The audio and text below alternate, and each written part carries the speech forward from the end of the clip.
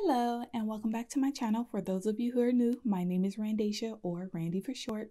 And in today's video, we are going to be talking about percentage budgets. And this video was requested by a YouTube subby, so I'm going to just go ahead and jump into it.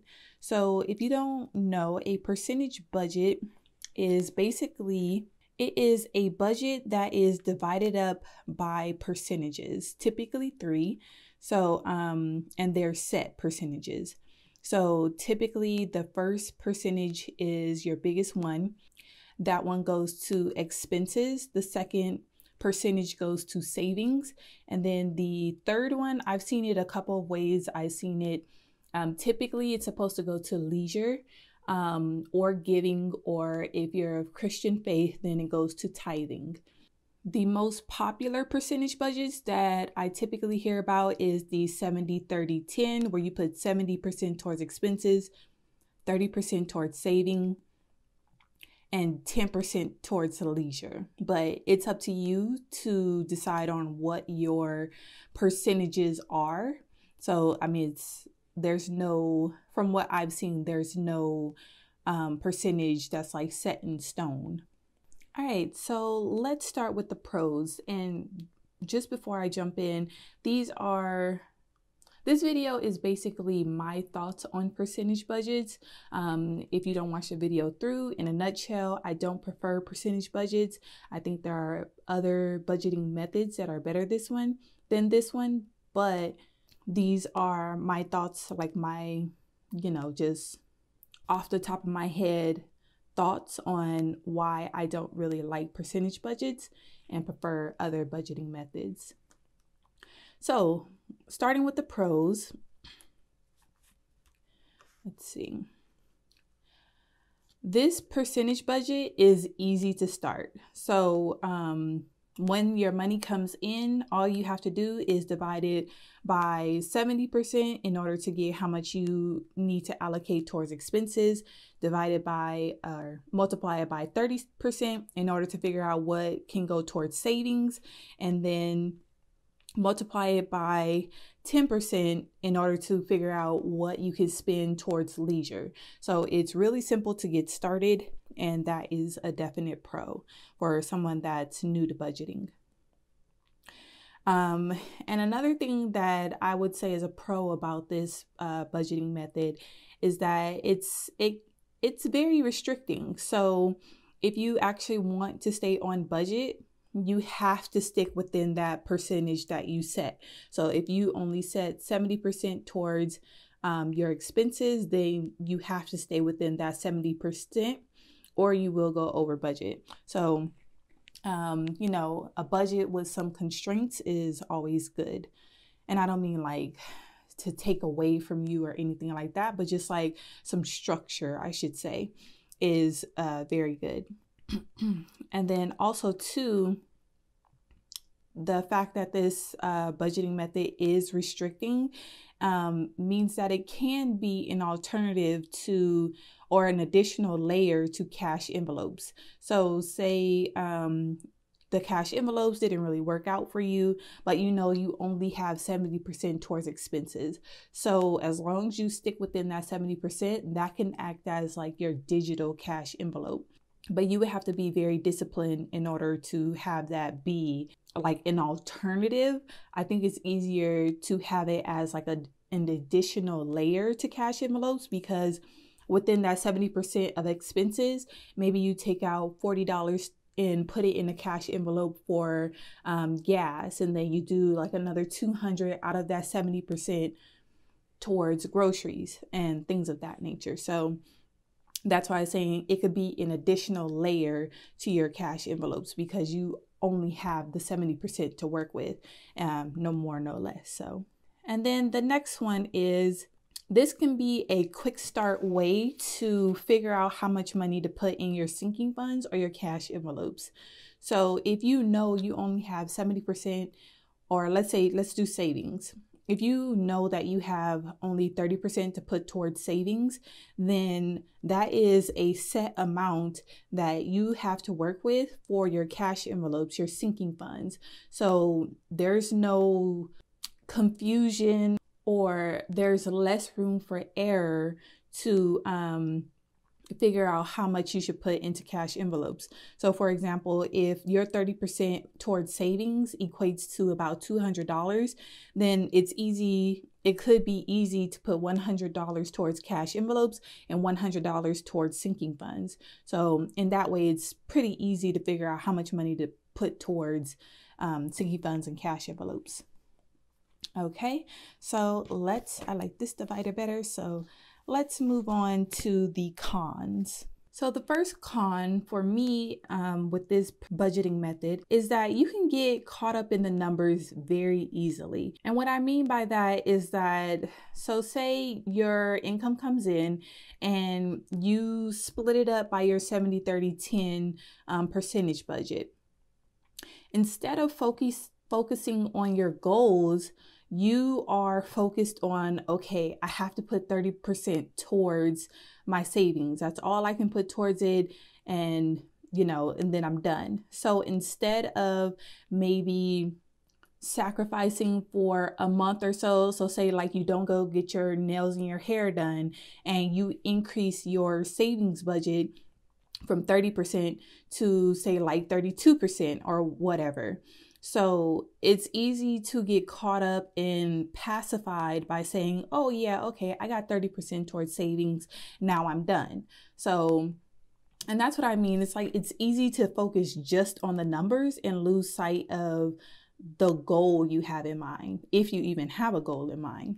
And then the next um, con for this budgeting method is that when you first like if you're new to budgeting and you first sit down to do like maybe you want to be a little bit more ambitious and do a 50 30 20 percentage budget well if you sit down and your expenses end up being 85% of your uh, budget and you feel like there's no way you can cut down that 85% it that can be very discouraging and you could give up like new budgeting new budgeters can give up because they feel like there's no way that they can get their expenses down.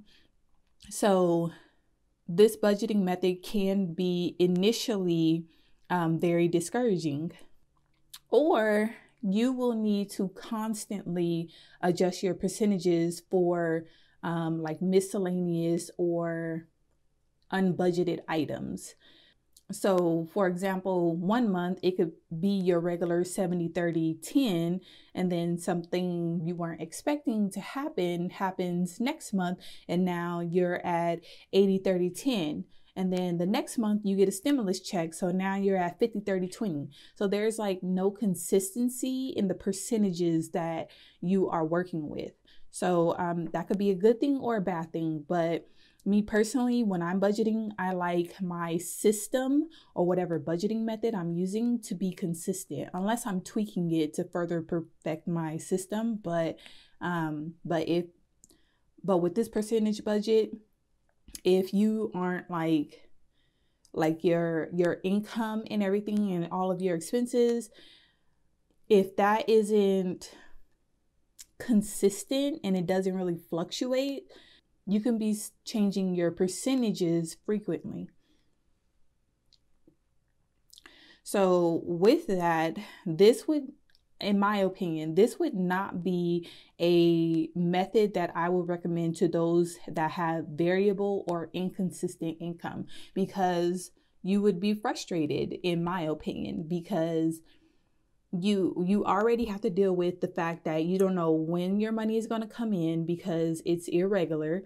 So one month you could be again you could be using the 70 30 10 and then the next month you're using the 50 30 20 so it's like there's no there's no consistency in your budget on top of already having variable income that you can really count on. So um, at least in my opinion, if I was a variable income earner, then I would not use this budget method. My one of my main gripes with this percentage budget is that it can if you're not careful there you can have an automatic lifestyle creep so say um, you are a college graduate or you are a senior in college uh, for engineering and you're working like a part-time job somewhere at a fast food restaurant. When you graduate your income um, is going to be much much higher once you go into the field that you were studying into the engineering field. So if you stick to this budget where it's 70 30 10 all of a sudden you're going from 70 30 10 with a uh, fast food income to 70 30 10 with a engineering income. That is an automatic lifestyle creep and i don't say i don't mean that you know once you graduate college and you shouldn't have like you know in increasing your standard of living but i'm just saying with this percentage budget any increase in income is an automatic lifestyle creep if you don't adjust your percentages so, um, you guys know that I am an advocate for um, basically just using like limiting the amount of money that you need to uh, for your expenses and using the rest to pay yourself first and hit those goals, whatever goals you're working on, whether it be investing or um, saving for your first house, whatever that might be. But uh, definitely with this uh, budgeting method, it is a definite, uh, you can definitely have a lifestyle creep very easily. Okay, and the next con is that to me, this the percentage budgeting method is very reactive versus proactive you have to wait to get paid or at least know how much you are going like about how much you're going to get paid before you can even set up your budget. Or if you do work off of estimated amounts then once you get paid you have to redo your budget to have those exact amounts. Like there's no real to me there's no real wiggle room when it comes to it. Like you have to have you have to have those exact amounts for this budget. So, me personally, I like to set my budget up the month before so that, you know, I'm ready and prepared when going into the next month with my budget. Versus this budgeting method, you actually really do have to wait until payday to know how much you're going to get in order to budget.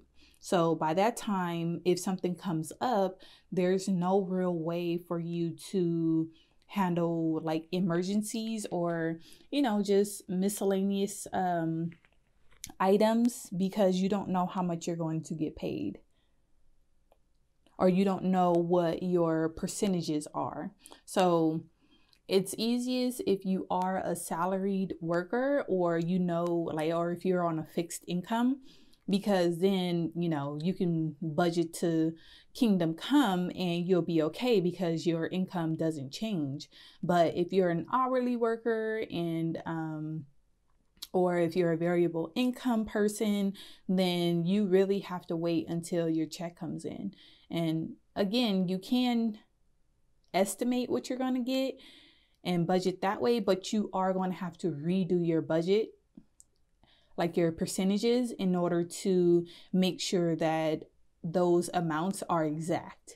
And then another con in this budgeting method for me is that this budget subconsciously or consciously focuses on encouraging leisure spending. So again, I told you that last percentage can be for leisure, giving or tithing um, from, you know, from the ways the the examples that I have seen it used, it's typically one of those three, but typically it's leisure.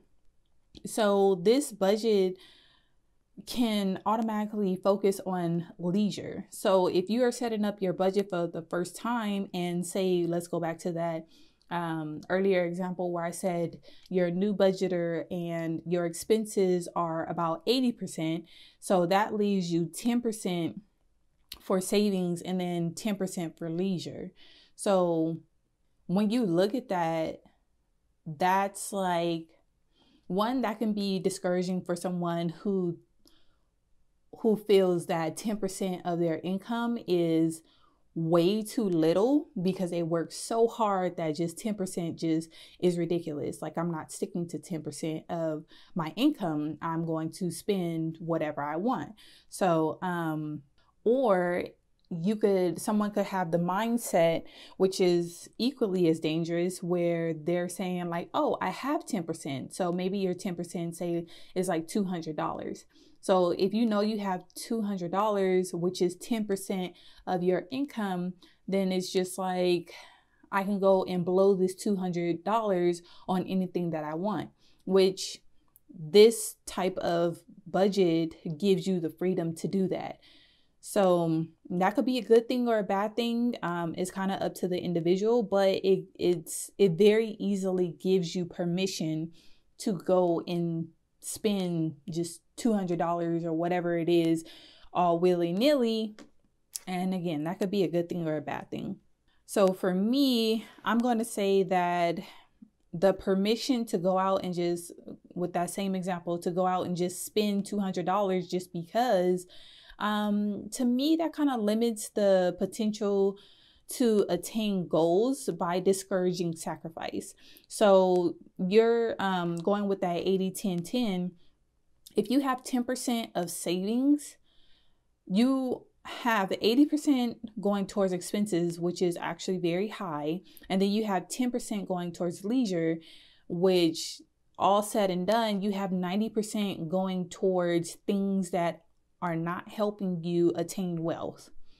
So you only have 10% of your budget going towards savings. Well, that kind of discourages sacrifice because it's just like, oh, I only have, you know, I I budgeted my 10% towards saving and my 10% towards leisure. So at that point, you can just like blow off um, sacrificing um, more and lowering your leisure budget in order to put it into your savings. So, say, like, instead of um, going and blowing that $200, you maybe give yourself $50 and you put that additional money towards your savings. So, you have a higher savings percentage and a lower leisure percentage. So, I don't know very many people, including myself, that if I have this amount of money already set aside for me to go and just enjoy life with, um, it's gonna, for me, that would be pretty difficult to say no to and put it aside so that I'm saving.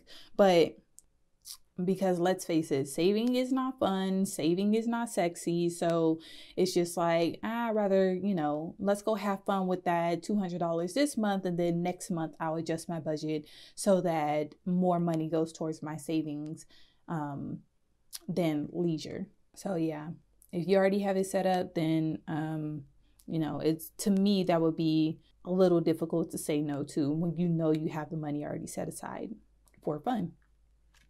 And then the last one, the last con for this budgeting method for me is that there's no real accountability. And what I mean by that is just overall, there's really nothing about this budget that holds you accountable unless you are really consciously working towards lowering your budgets every month, especially like your expense budget and increasing your savings. And then again, the 10% can go toward leisure, giving, or tithing. So unless you're actively and consciously working towards increasing that giving or savings percentage, then there's no like you can stick to the 70 30 10 and be great with this budget. As long as you're sticking to that every single month, then this budget says, like, hey, you're meeting your goals, but are you really? Could you have sacrificed in your leisure this month to increase your savings budget? Are you progressing toward, like, does this budget allow you to see that you are progressing towards your goals? There's no way to see it because once you set up your um your percentages unless like you're doing it some other way in your budget that you're actually tracking like a goal. So like saving for your house, unless you are putting like your beginning balance of what that savings account was and then how much you're putting towards it and then how much your ending balance for that month is unless you're doing that every month this budget just in my mind you just have at the very top your income comes in you have 70% towards here 30% towards here 10% towards here and you have all of the expenses listed under and then at the bottom you get a total that should equal um, or be below that initial percentage amount. So in that type of budget, where are you tracking your your um, your wins? Where are you being held accountable if you do go over your budget? Like there is this budget just this budget just seems like a slippery slope to me, but as you can see, I have way more cons than pros. But again, just to summarize, like in a nutshell, I think this budget can work for someone that is just new to budgeting or doesn't want to um, be that detailed in their budget. They just want to, you know, set it up very quickly and then go about their business. Um, I think this budget can be great for those type of people or high income earners where they don't really have to watch their income like that. They just need to stay within like a certain range in order to know that they're okay. So I think this budget system is good for those people, but for, you know, everyday regular people like you and me, I think this budget is it doesn't have enough substance to me to help you meet your goals, to hold you accountable, to encourage you to, um, you know, maybe sacrifice for for the time being in order to meet your goals faster. It's just I think there's just other budgeting systems that are better than this one. But again, this is not to discourage anyone from using this budgeting method. These are just my thoughts and my opinions. If you use this budgeting method or want to try it out, then go ahead and try it out or keep using it if it's working for you or if you think it'll work for you.